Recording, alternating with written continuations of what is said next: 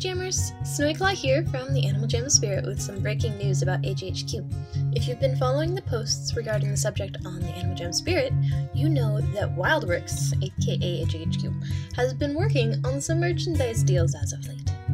Last year, the company settled on a partnership with Jazwares, a toy company based in Florida. They produce products for TV shows like Gravity Falls and Adventure Time, video games like Sonic and Plants vs. Zombies, as well as online games like Minecraft and Terraria. They seem to have a pretty good track record. What does this mean for Animal Jam?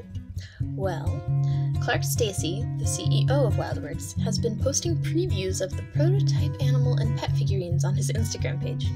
He's visiting toy shows to start off the brand launch this year. He hints that products for consumers will be coming out as soon as June 2016, available at retailers nationwide in August 2016. The initial branch of toys includes multiple lines at various price points.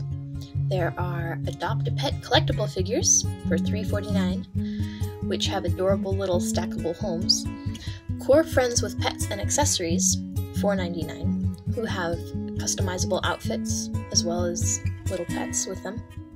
Light Up Friends with Magic Ring, $8.99, which include a little black light ring that will reveal special animal patterns on the animal figurines.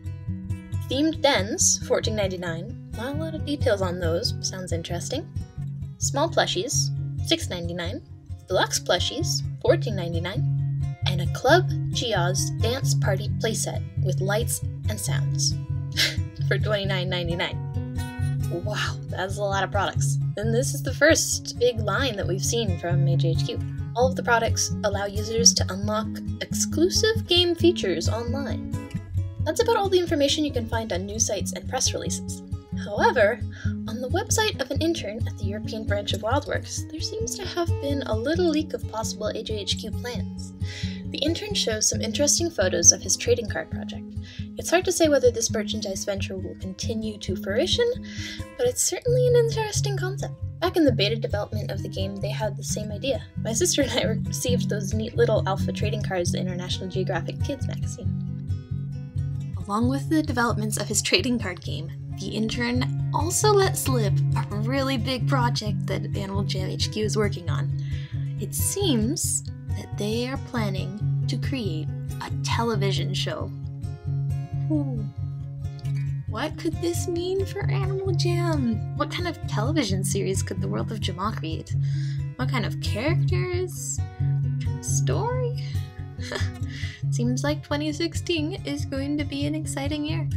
Stop by the Animal Jam Spirit for updates on these developments. We'll likely be getting more and more announcements and pictures throughout the month as all these toy conventions come to pass. I'll keep you posted. Until then, happy jamming!